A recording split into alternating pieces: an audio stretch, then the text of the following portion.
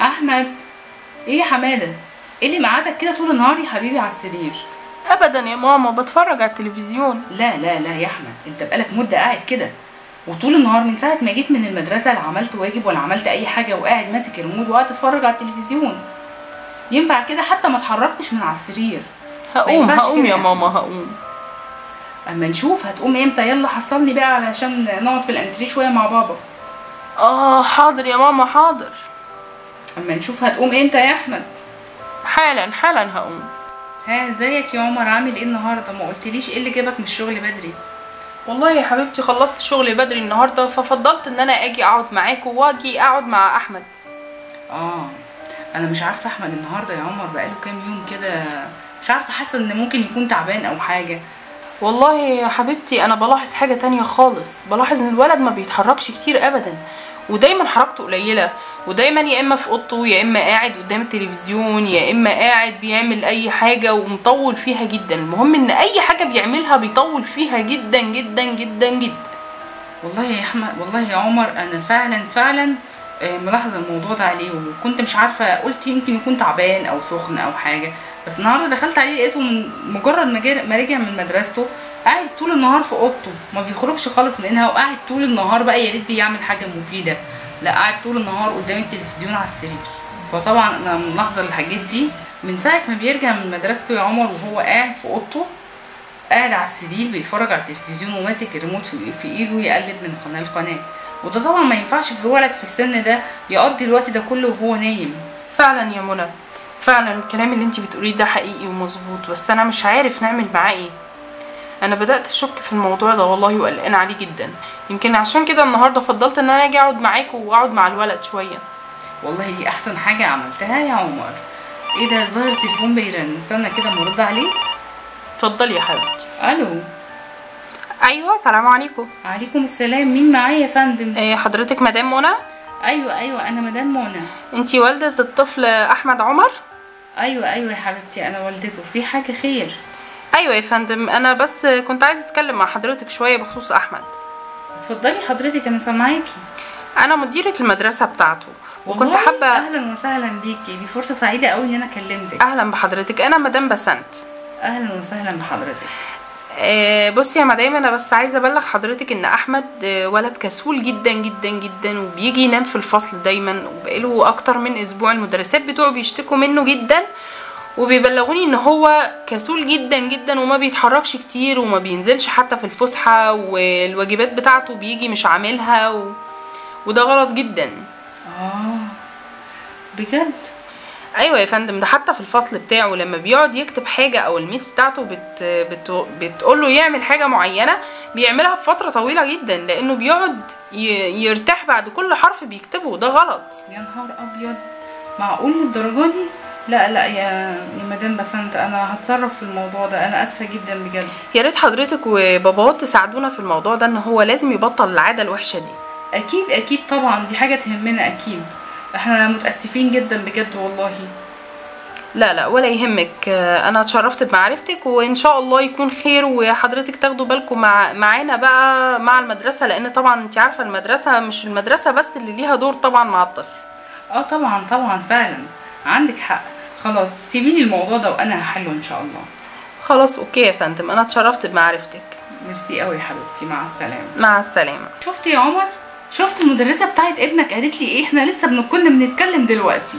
اهدي بس يا منى. اهدي يا حبيبتي. إيه اللي أنا حصل؟ زعلانة جدا أنا زعلانة جدا من أحمد. ما ينفعش ابدا اللي هو بيعمله ده تصور تصور إن المدرسة بتاعته أو المديرة بنفسها اللي طلباني تقول له إن ابني ابني بينام طول النهار في المدرسة. وما بيعملش واجبات وما بيعملش أي حاجة خالص. بينام في المدرسة؟ أيوه يا عمر بينام طول النهار طول اليوم في المدرسة. وما بينزلش يلعب مع الأولاد وطول النهار بياكل وينام وياكل وينام. وما بيعملش الهوم ورك بتاعه وما بيعملش أي حاجة. يا خبر.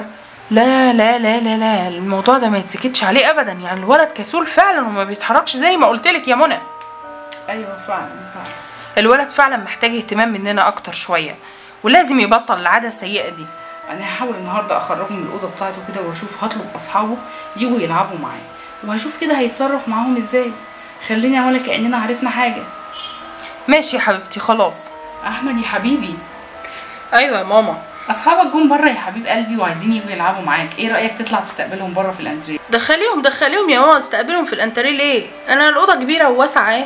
دخليهم. أدخلهم لك هنا أوضتك؟ أيوه يا حبيبتي دخليهم أنا مستنيهم هنا أهو. بس ما ينفعش حد يقابل حد في اوضه نومه يا أحمد. ليه بس يا ماما؟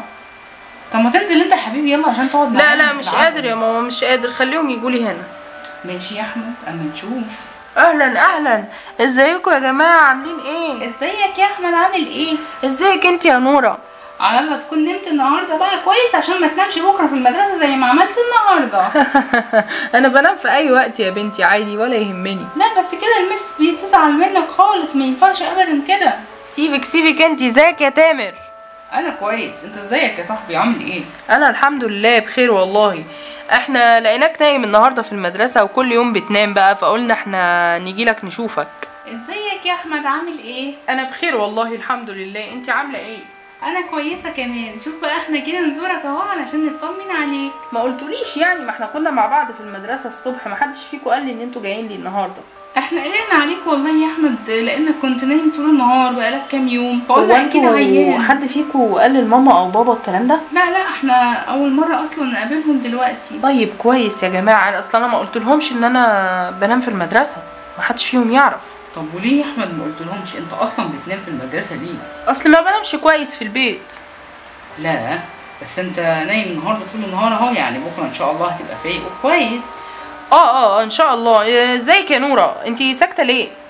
أنا كويسة يا أخويا. أنت عامل إيه بقى أنت؟ أنا بخير الحمد لله. الله يا مامتك راحت فين؟ كانت واقفة هنا من شوية. أكيد طلعت الجنينة. آه فعلا يا أحمد الجنينة بتاعتكم جميلة قوي. ما تيجي نطلع نقعد فيها شوية ونلعب سوا؟ أيوه أيوه يا أحمد. يلا خلينا نلعب في الجنينة شوية. لا لا لا لا اطلعوا اطلعوا. اقعدوا معايا على السرير هنا نتفرج على التلفزيون. القعدة هنا حلوة قوي. لا تلفزيون إيه وسرير إيه يا أحمد؟ ما ينفعش كده. يلا إحنا جايين نلعب معاك. إيه رأيك نجيب كورة ونلعب سوا؟ أنا عندي كورة جميلة قوي هتعجبك. وجايبها معايا بره. لا لا لا لا يا صاحبي. آه أنا أنا شايف إن ال- الحلقة اللي شغالة في التلفزيون دي حلوة قوي. اطلعوا بس اقعدوا معايا. ياه. أحمد أحمد. أيوه يا ماما أيوه. يلا يا حبيبي أصحابك بيقولوا لك يلا نلعب في الجنينة. مش هتسمع كلامهم وتلعب معاهم شوية؟ لا لا يا ماما هم هيقعدوا معايا يتفرجوا على التلفزيون. لا يا أحمد ما ينفعش يقعدوا يتفرجوا معاك على التلفزيون. طب هم بيتفرجوا على التلفزيون في بيتهم. هم جايين عشان يلعبوا معاك يا حبيبي. يلا انزل العب معاهم. ماشي ماشي يا ماما. خليكي انت بس في المطبخ دلوقتي زي ما انت بتعملي. إيه يا أحمد؟ أنا سامع ماما عمالة تندهلك من ساعتها وتقول لك يلا يا أحمد عشان تطلعوا الجنينة يلا يا أحمد. وأنت تقول لها لا مش هطلع. إيه أنا يا بابا أنا إيه أنا فعلا قلت لها كده بس أصل أصحابي عايزين يتفرجوا معايا على التلفزيون هنا. لا خالص يا عمو يلا يا أحمد نطلع. الجنينة بتاعتكم جميلة قوي. فعلا فعلا يا عمو. إحنا عايزين نطلع نلعب معاه هو اللي مش راضي أنا مش عارف في إيه ماله إيه يا جماعة أنتوا مش قلتولي إن أنتوا هتقعدوا معايا في الأوضة؟ أحمد يلا قوم خد أصحابك واطلعوا العبوا في الجنينة. آه حاضر يا بابا حاضر. يلا امري لله. يلا يلا قوموا نروح الجنينة. ما يلا يا أحمد انزل العب معانا بالكورة. يا جماعة ما أنا طلعت معاكم في الجنينة أهو. كمان عايزين ننزل ألعب؟ لا بقى العبوا أنتوا. الله. يعني أنت هتقعد تتفرج علينا ولا إيه؟ آه مش قادر ألعب. أنا هقعد أتفرج عليكم. خلاص خلاص سيبه براحته آه يلا يلا بينا. يلا بينا نلعب. يلا يا منار يلا. أوه. هي أنا شطها يو هي يلا شوت شوت أوه. حاضر حاضر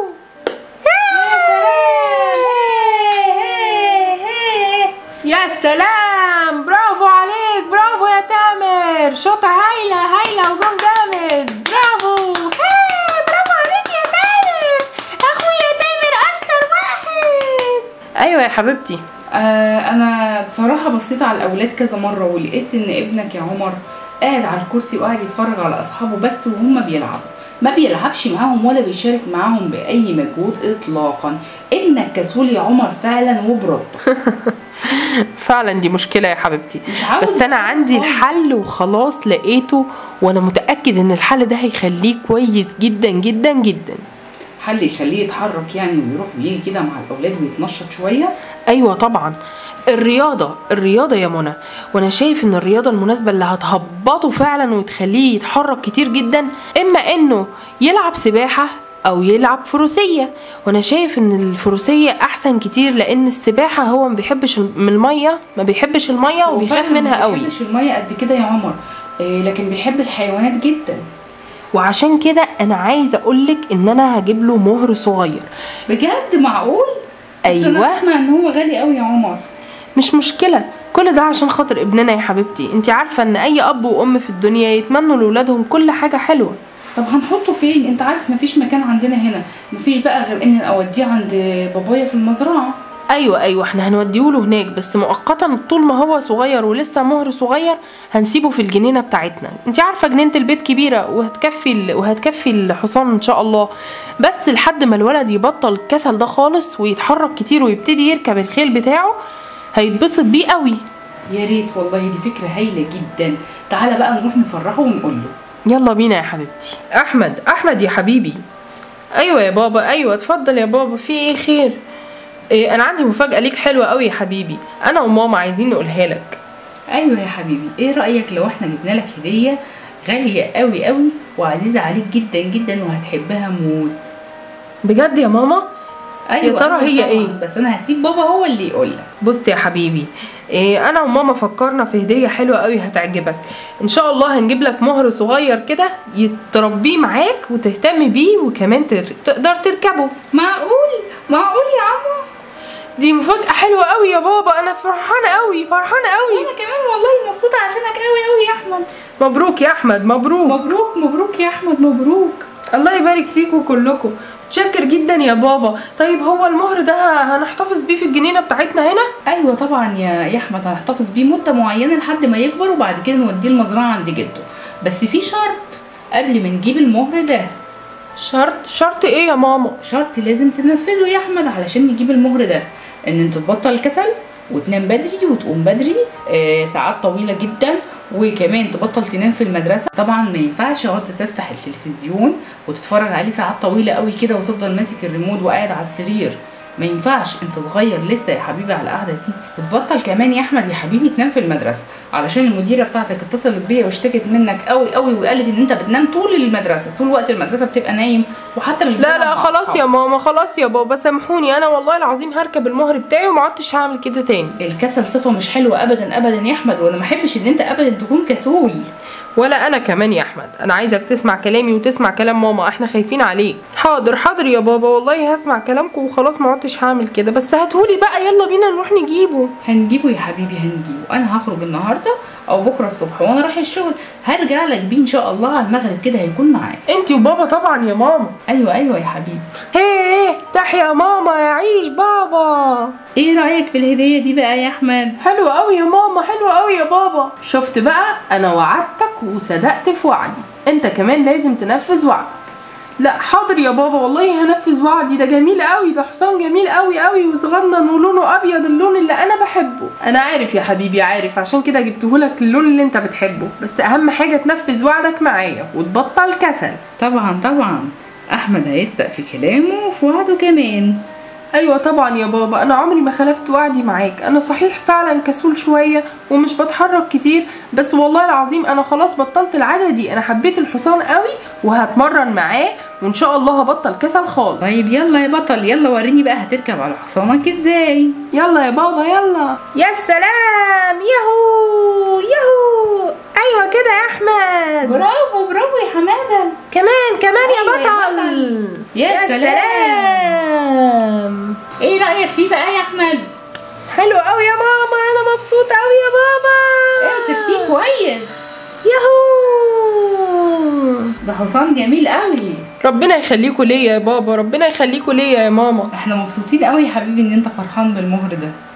أنا مبسوط قوي وسعيد يا حبيبي أنا كمان. المهم بس أهم حاجة توفي بوعدك زي ما اتفقنا. آه طبعا أنت ما شفتوش ولا إيه يا عمر؟ تستاق ال- راكب المهر إزاي وراكب عليه ومبسوط؟ هيجري بيه طول النهار. أنا عارفة ومتأكدة إن ابني حبيبي هيعمل كده. أيوه يا ماما فعلا. أنا فعلا هوفي بوعدي معاك يا بابا. ما تزعلوش مني ابدا. يلا بينا بقى يا بطل. نحط بقى المهر بقى ندخله في مكانه في الجنينة ونطلع علشان نخلص واجباتنا حاضر. حالا حالا يا بابا. ودي كانت لعبتنا النهارده يا أصحابي. أتمنى إن هي تكون عجبتكم وأتمنى إن اللي يكون فينا فعلا كسلان وما بيحبش يقوم يعمل الحاجات اللي وراه أو كده لازم يبطل العادة دي طبعا لأنها عادة وحشة جدا وما ينفعش إن إحنا نبقى كسالى أو مش عايزين نعمل حاجة أو قاعدين مأنتخين كده لأن القعدة دي كمان بتجيب أمراض وحشة جدا يا أصحابي.